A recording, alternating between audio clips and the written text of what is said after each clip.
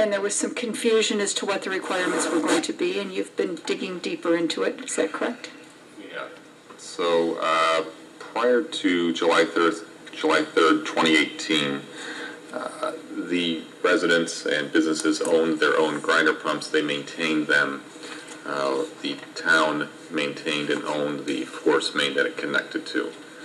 Uh, July 3rd, 2018, uh, apparently the DEC uh, changed this ruling uh, and are encouraging uh, towns to take ownership, maintenance, replacement, uh, easement of all the grinder pumps. We did not receive the letter until early uh, in 2020, Is there a difference between encouraging and requiring? well, pretty much requiring. Okay, It really is. Uh, We, this has created confusion to everyone in the region. Uh, We met with uh, numerous towns, Irondequoit, uh, Pittsford, Brighton, Penfield, um, and to try to come up with a uh, strategy for this. Uh, Penfield uh, does not have as many grinders as we do. We have uh, 159. Uh, Penfield's approach is to not allow any grinders, grinder pumps within their community anymore. Should we back up for a minute and explain to people who might be watching why a grinder pump is necessary? We should. Uh, so a grinder pump is a small, uh, small grinder pump station uh, that serves a, a house or a business uh, that is, we can't get, uh, due to, due to topography, uh, can't get gravity sewer to. So. Thank you. So, one of the other towns, uh, Irondequoit, uh, they actually pushed back on that and uh, got a uh, reprieve from the DEC to continue doing business as they have been doing and as the town of Webster has been doing, uh, the maintenance and responsibility install and all of that uh, stays with the resident or the business. Uh, The town stocks uh, X number of grinder pumps in case of emergency, and it is business as usual. The edict from the DEC stated that anything July 3rd forward would need to be covered. Any new grinders moving forward would need to be covered and purchased and maintained by the town. That would then leave anyone who currently has grinder pumps prior to July 3rd on their own. You can see the problem where, well, the town may take care of these and pay for these. Those prior to July 3rd, you're on your own. Uh, In addition to that, it would really put a burden on the sewer department. Uh, We would have to staff up for that. We'd be on 24-hour call for these. We would need a full repair shop in our facility. We would need to stock many, many more units. Uh, Then there comes the question of, okay, if we're responsible for these, what if there's a power outage? Are we then responsible for powering these things in a power outage? So uh, the, the cost just grows and grows and grows. Um, So asking for a little guidance, my opinion would be uh, really just follow Irondequoit's lead, draft a letter back to the DEC explaining those reasons why, and continue doing business as usual. Um, Has the letter gone out yet? I, I second the motion. I, I- so when the Irondequoit sent that letter, did the DEC get back to them and say, yeah, okay, They did? well, then we need to send a letter? Okay.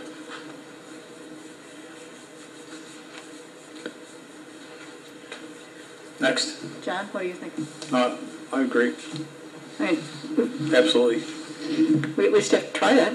Okay. I just thought an important issue that, you know, No, I appreciate that you're Sure. bringing that to our attention. And I'm, I'm, thank Did you you. ever hear, did you ever hear the reasoning for this edict that came down? Because what's been, what's been happening has been working well.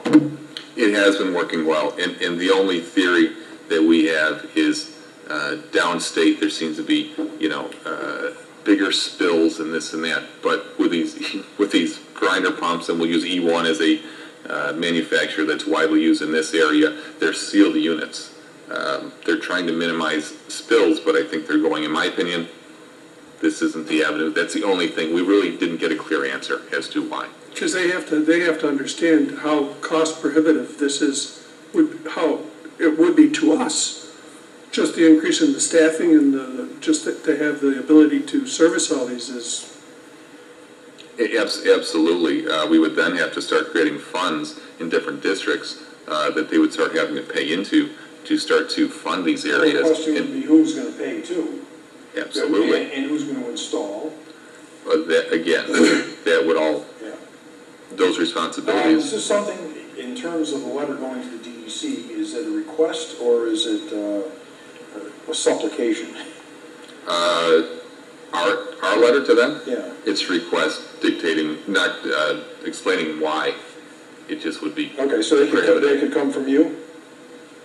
I would write the letter with your review, absolutely, Okay, no, but I mean, it would be from Yes. you though.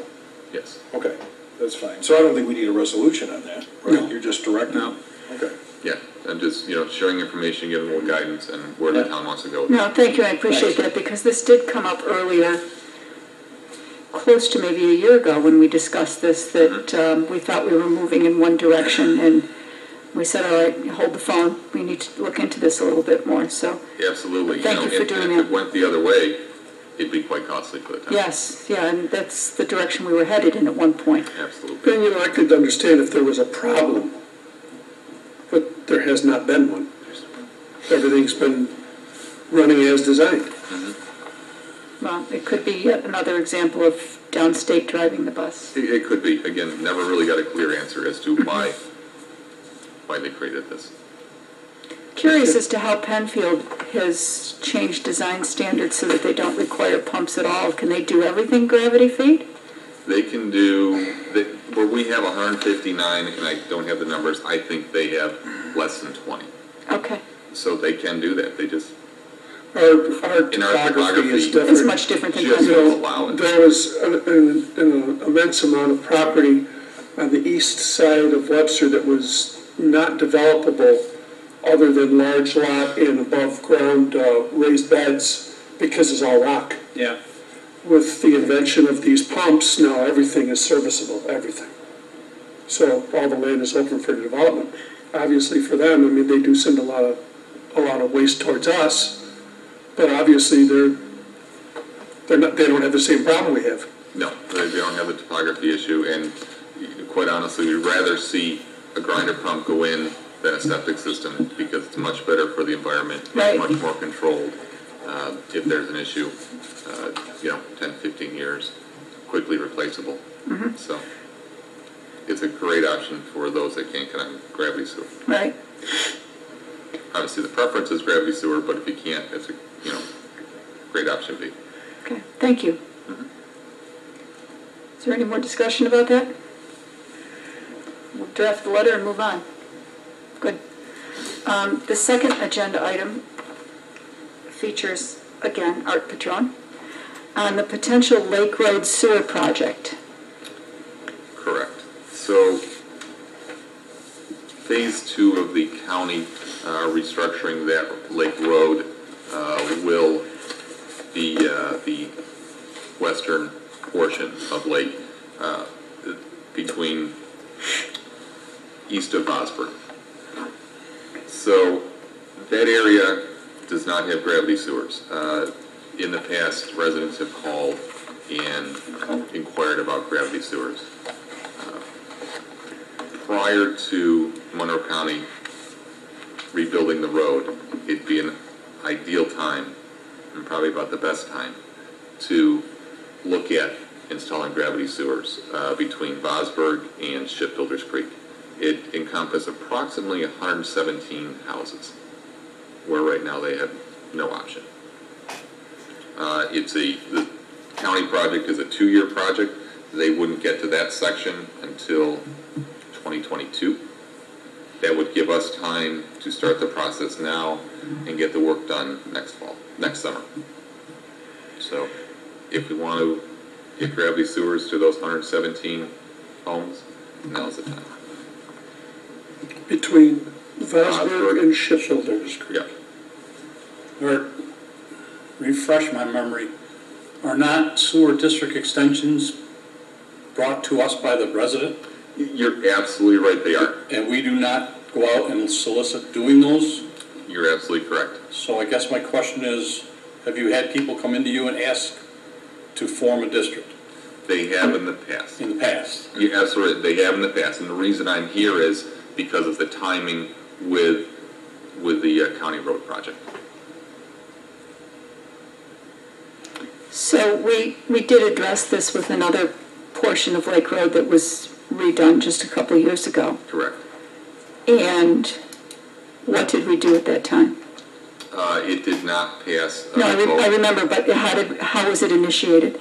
Uh, it was initiated, we did have some uh, initiation by the residents. Mm-hmm.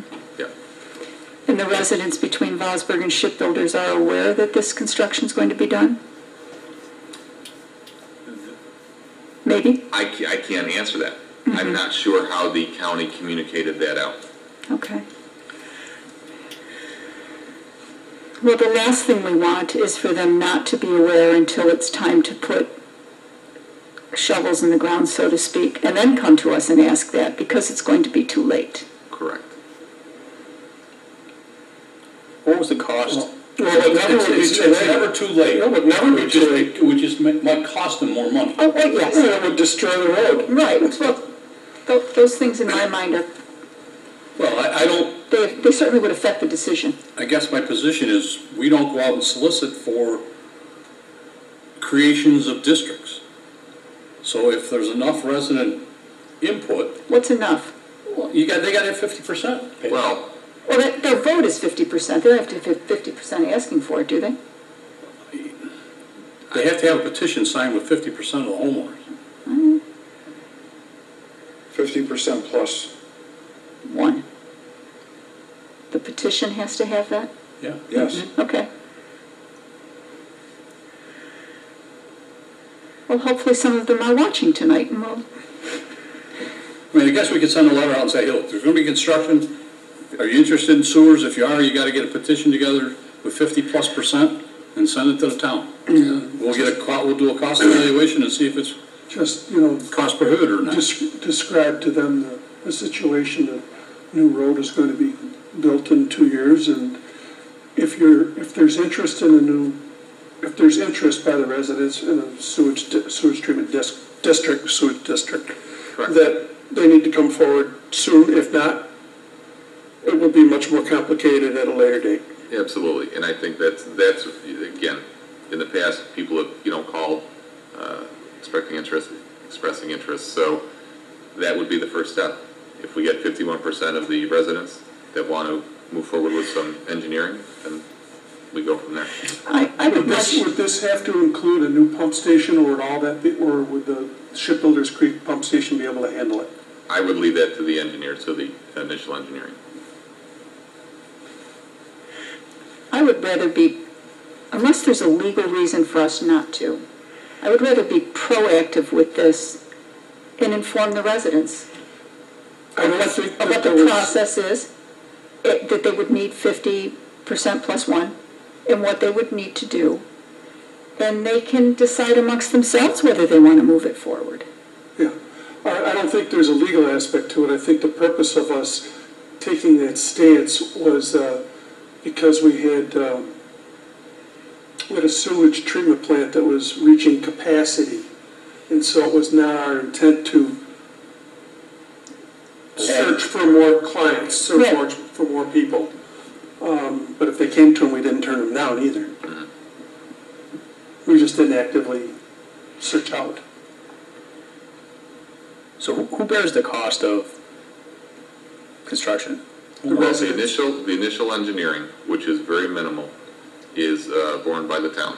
Okay, And then uh, if the, once the costs are uh, shared with the residents, and they, again, 50 plus one, if they vote to move forward, uh, that is dispersed among uh, all those residents. okay, so I'm gonna ask another question also along the same lines. So let's just say, for example, that they decide not to do it now, but they decide to do it later. They get their fifty plus one after the road pro- project is done. Did they share the burden of the cost of tearing up the road and redoing it also? Absolutely. Okay, That is all, yeah, all the construction uh, is borne by the residents. so this could save them significant dollars by not having to rip up the road. So, I think it's, I absolutely agree with, um, Councilwoman Cataldi as far as notifying them of not only the process, but what's involved in sharing the burden of cost so that they're aware of it. Because if we don't explain to them that they're gonna have to share the burden of cost, you're gonna be getting phone calls, well, who's paying for this? So as much, more information is better than less, I would So- suggest. And and I, and I agree, going back to Councilman Dean and Councilman Abbott's points, and which I'm very conscious of, how do we navigate going forward with that letter? To the, uh, To the residents. residents? There actually is generally precedent for this. I mean, you, they need to be contacted. Okay, There's nothing wrong with that. Contact them, say if you want to. I mean, we can offer some assistance in terms of what they need. Tell them what they need. They need a petition requesting the, the, uh, an extension to the sewer district.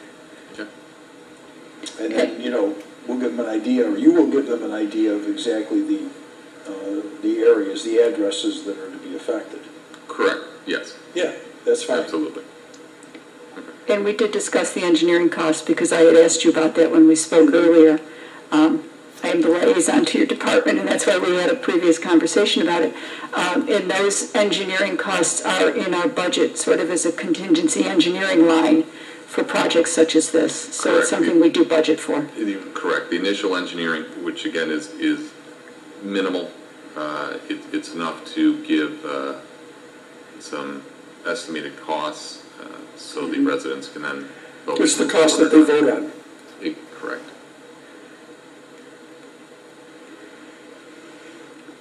Do we need some sort of resolution for this, Charlie? No, because we're not actually seeking the, We're we're not not taking seeking, any we're action on not, it. we're not making the motion to go ahead and, which the board could do if they wanted to, but traditionally we don't. Okay. especially considering the expense, so it makes sense. Yeah, I, I think, I don't think you need a resolution. I think uh, basically what, what uh, Mr. Patron's talking about is, uh, and the board is uh, consenting to is a, um, a- basically a letter to see if there's interest in this, Okay. right? That is it, explain Yeah. the reason why. Yeah, and Yeah, if they the want to go time. ahead, then they take the next step. They Exactly. understand that it's going to be, mostly the cost is going to be on them. And um, it's not a question of selling it to them, just a question of saying, look, do you want this? I think most people want it, but, you know, If you want to do it, this is what you have to do. yeah. Yeah. And if they don't get fifty percent, fifty-one percent petition, then it dies right there. Right. And, and the other thing we discussed when we first talked about this, we thought this project was going to begin next summer. Correct. And we found out that we actually had a little more time on this to, to handle it more appropriately. We do. Um, we absolutely do. But that being said, we still want to drive this now. Right. So we can get, if it moves forward, uh, obviously with COVID, there's some, uh, real, uh, challenges, uh, with getting, uh, people together, getting signatures, things like that, uh, conveying the information, uh, and getting some bids out, so the work can be done next year. Okay. All right, so I would say uh, draft that letter, and you know the addresses it needs to go to, correct? That we do. You got some writing to do. No, that sounds good. Thank you for, thanks for bringing it to our attention. Appreciate it. And I do hope some of the residents are watching tonight to hear the discussion about it. Um, Certainly they'll be able to see it. And if they are, they can call the sewer department, uh, share their, uh, interest at 265-0505, 265 0505. 0505. Wonderful. Thank you. Um, Those are the only two agenda items we have on our workshop tonight. Does anybody have anything else to add? No. I only have one thing. I did send an, an email to the mayor this morning because I wondered if they were still holding the 9/11 memorial ceremony that's held annually at the gazebo in the village. And I found out, in case anyone else wonders, that it is not being held this year. They felt that due to COVID restrictions, it was too difficult to gather people, gather the band and all of that. So unfortunately, we will not be uh, not be attending that this year, but we certainly still hold the memory dear in our hearts and take a moment to think about all those lives lost. And barring any other comments, I will adjourn the meeting. Thank you all.